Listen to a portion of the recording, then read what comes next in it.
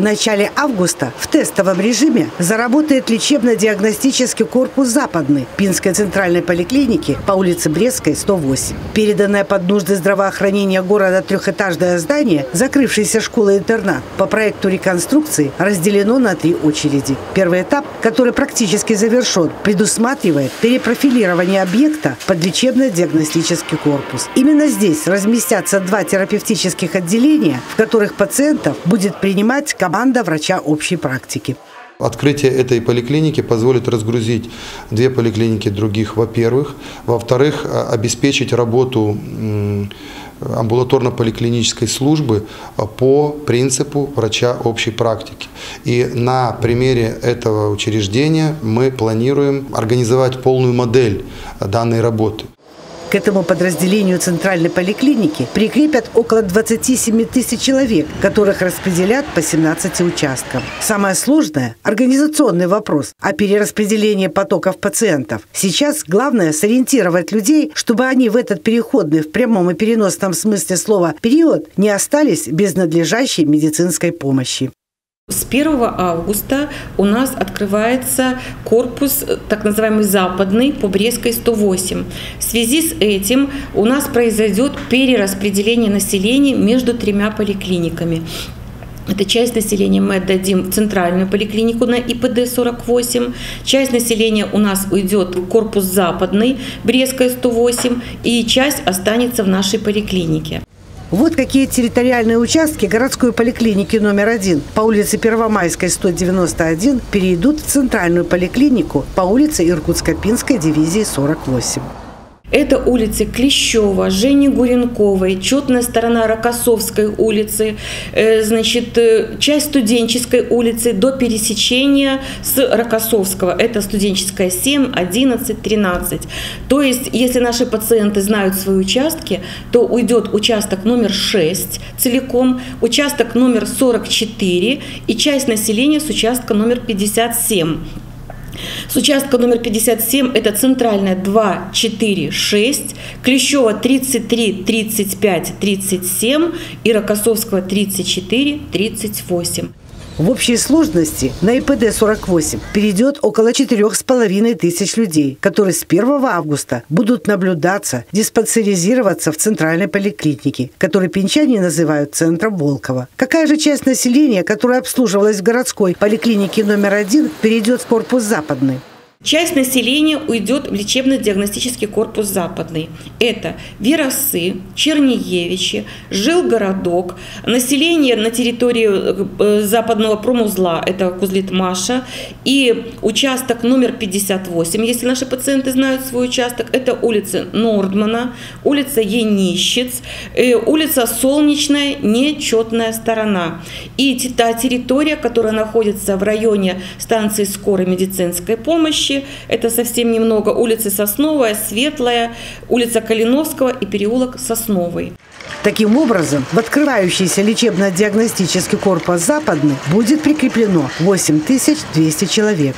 Они уже должны знать, что их доктора, их медицинские сестры, помощники перейдут вместе с ними работать на ИПД-48 и корпус «Западный» около 55 тысяч населения, будет получать амбулаторно-поликлиническую помощь, как и прежде, в своей первой городской поликлинике по улице Первомайская, 191. И этого многому уменьшит нагрузку, которая ложится на плечи медработников и пациентов, которых ранее насчитывалось 84 тысячи.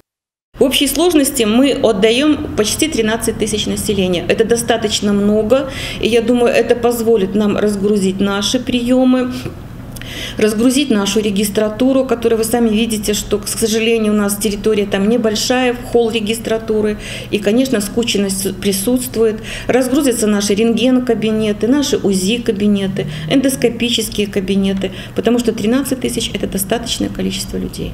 И еще самое важное. Благодаря такому перераспределению будет сделан реальный шаг по повышению качества и доступности оказания амбулаторно-поликлинической помощи всему населению города. Необходимость э, строительства или э, поликлиники или поликлинического учреждения в том микрорайоне, она была определена уже много лет назад в связи с перегруженностью двух поликлиник по ИПД-48 и по Первомайской 191, даже в большей степени по Первомайской, потому что там велись приемы даже в три смены, что ну, невозможно по сути для обеспечения санитарно-эпидемических норм и э, других нормативов. Не случайно новый лечебно-диагностический корпус «Западный» начнет работать в тестовом режиме. Процесс перехода и передачи документации требует определенных временных затрат. Но самое главное, без медицинской помощи не должен оставаться никто.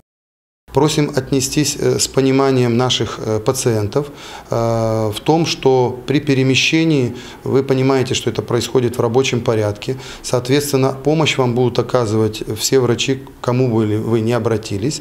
Но на этапе временного перемещения могут возникать различные вопросы.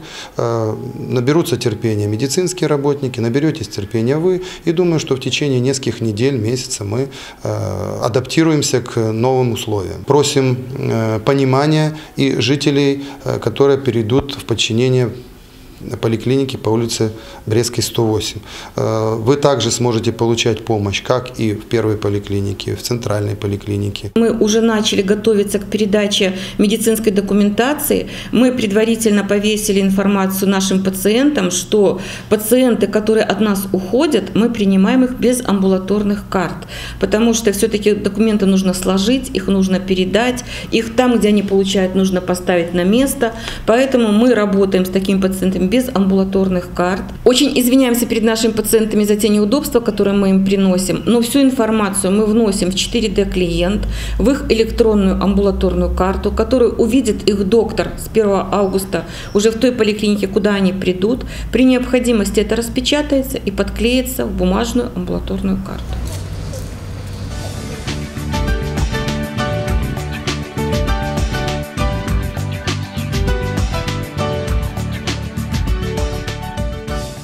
Врач общей практики сегодня является одной из наиболее востребованных специалистов в медицине. На первичном этапе оказания медицинской помощи он становится универсальным врачом, который может решить определенный объем вопросов пациента самостоятельно. Во-первых, не только корпус западный у нас приступит к работе по принципу врача в общей практике. Он просто идет у нас как первый, как лидер, потому что там комплектуются целые бригады. Но и наша поликлиника, и поликлиника центральная будет стараться уже с 1 августа приступить работать по этому принципу. То есть принцип врача общей практики. Главный принцип работы врача общей практики – это работа в команде. Что это такое? Формируется бригада. Это врач общей практики, помощник врача и медицинская сестра общей практики, которые будут работать один, одним общим конгломератом. У каждого будут свои обязанности, и каждый будет конкретно заниматься куском своей работы, которую будет координировать и контролировать врач общей практики. Так чем же будут заниматься врач общей практики, помощник врача и медсестра общей практики? Узнаем непосредственно у врача общей практики Валентины Евсович и членов ее команды. К врачу общей практики можно обратиться по поводу заболеваний терапевтического профиля, либо же для коррекции лечения. А также, если у пациента появилась боль в груди, в спине, в ушах, в животе. А, также решение экспертных вопросов, то есть это же та же самая выдача листка нетрудоспособности, направление на врачебно-консультативную комиссию, направление на медико-социальную экспертизу, направление на консультацию вышестоящую организацию, если есть в этом а, нуждаемость, либо же а, решение о госпитализации. И это еще не все, чем может конкретно помочь врач общей практики. Он обладает более широкими знаниями и полномочиями, чем участковый терапевт. Также врач общей практики выдает свидетельство о смерти, выдает заключение на профпригодность, он проводит первичный осмотр пациента перед посещением врачей-специалистов, ну и, конечно же, это первичный осмотр пациентов на дому. И также он координирует работу на дому с пациентами, это помощника врача и медицинской сестры. Если же пациенту требуется высокотехнологичная помощь, то это уже сфера деятельности узких специалистов, которые могут уделить достаточно внимания более сложной проблеме.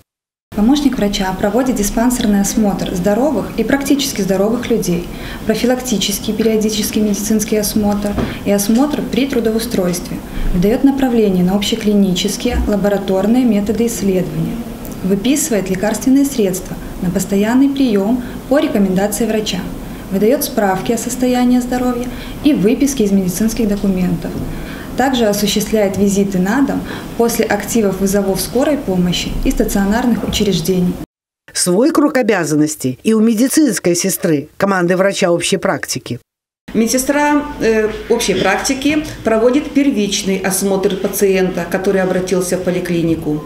Она измеряет рост, вес, артериальное давление, измеряет внутриглазное давление, выписывает рецепты медицинских лекарств которые для постоянного приема, которые контролирует врач, регистрирует электрокардиограммы, вызывает пациента на очередной осмотр, на диспансерный осмотр, на контроль лечения, осуществляет на дому визиты после передачи активов вызовов скорой помощи и стационарных учреждений. В каждом кабинете на Брестской 108 будет свой электрокардиограф. Он будет на кабинет, то есть на два участка утро-вечер.